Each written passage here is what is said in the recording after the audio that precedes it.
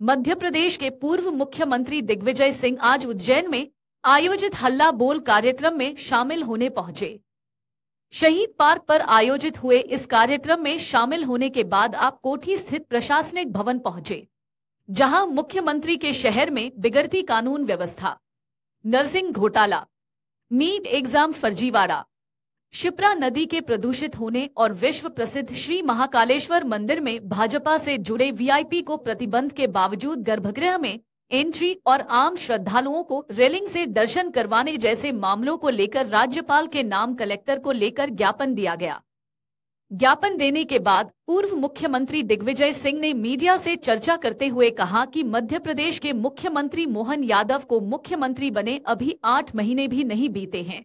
और उनके खिलाफ जन आक्रोश नज़र आने लगा है। हल्ला बोल के दौरान हमें कुछ ऐसा ही दिखाई दे रहा है। उन्होंने मंत्री गोविंद सिंह राजपूत के मामले में कहा कि वाकई में यह प्रकरण इतना गंभीर है कि सुप्रीम कोर्ट ने इसे संज्ञान में लिया है। यह अच्छी बात है। यह भी बताया कि कुशवाहा समाज की ज़मीन हड़पने का षड्यंत्र रचा गया है।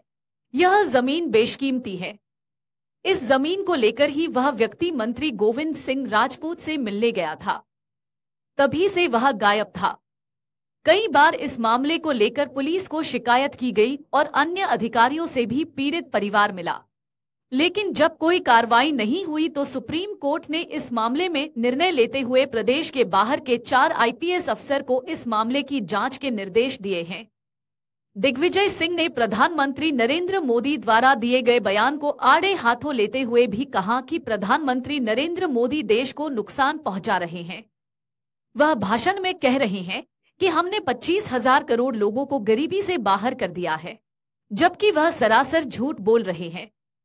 विपक्ष के नेता राहुल गांधी को 15 अगस्त पर फ़र्स्ट बेंच पर ना बिठाने पर कहा कि यह सरकार की हीन मानसिकता है, उन्हें ऐसा नहीं करना चाहिए था।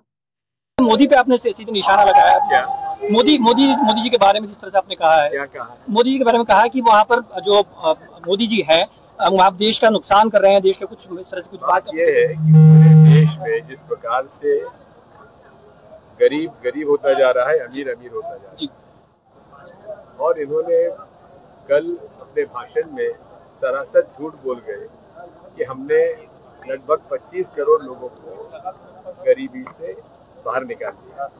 पहली बात तो ये है कि मैंने इकोनॉमिक सर्वे रिपोर्ट आप पढ़ ली उसमें साफ़ लिखा है कि लोगों के घरों खर्चे बढ़ जाने के जो प्रमाण आए हैं, उसके कारण सब लोग गरीबी से बाहर आ गए। अब आप समझिए कि घरों खर्च बढ़ने से गरीबी कहाँ से खत्म होगी? गरीबी तो और बढ़ गई। उनकी जो बचत थी वो खत्म हो गई। तो इस तरह से ये झूठे वादे करते झूठे बात करते हैं। इससे हम लोग सबको इस बारे में चिंता है क्योंकि अमीर अमीर होता जा रहा है गरीब गरीब होता जा रहा है। थैंक यू सर अगर आप ये वीडियो YouTube पर देख रहे हैं तो हमारे चैनल को सब्सक्राइब करें और बेल आइकन को दबाना ना भूलें। अगर आप Facebook पर ये वीडियो देख रहे हैं तो हमारे पेज को लाइक करें।